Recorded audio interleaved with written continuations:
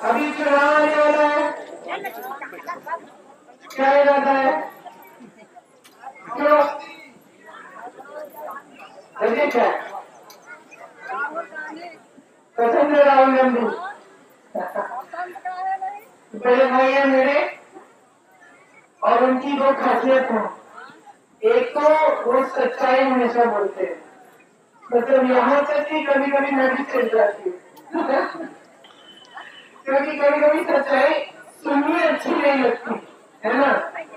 लेकिन भैया हमेशा सच बोलते हैं, किसी को अच्छा लगे, ना लगे।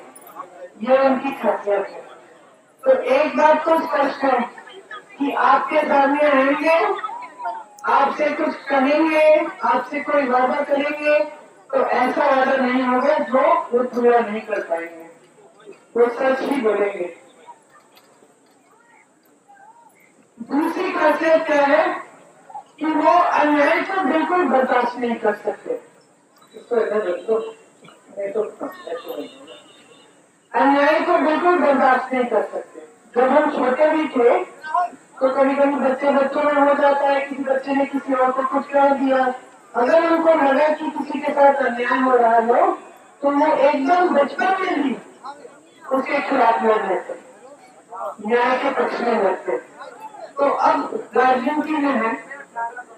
वो शायद इस देश के इकलौते नेता होंगे जिन्होंने चार हज़ार किलोमीटर पैदल यात्रा की है। चार हज़ार की चार हज़ार किलोमीटर पैदल यात्रा की है।